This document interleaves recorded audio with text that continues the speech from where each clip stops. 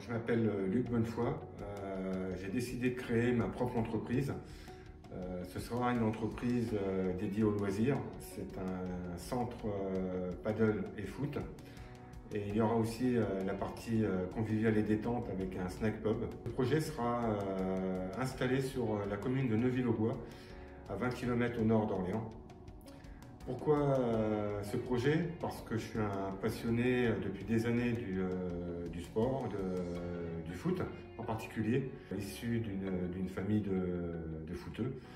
Et puis, euh, bien, pouvoir euh, apporter à, la commune de Neuville-aux-Bois et à ses habitants et les alentours euh, un endroit de convivialité, de détente et de rencontre.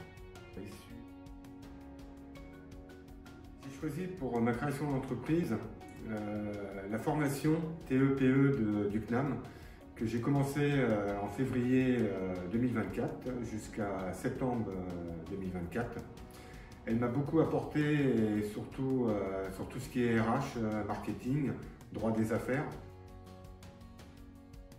C'est une formation complète que je recommande à tous les porteurs de projets de se rapprocher vers le CNAM Centre Val de Noir pour se renseigner sur, sur cette formation TEPE.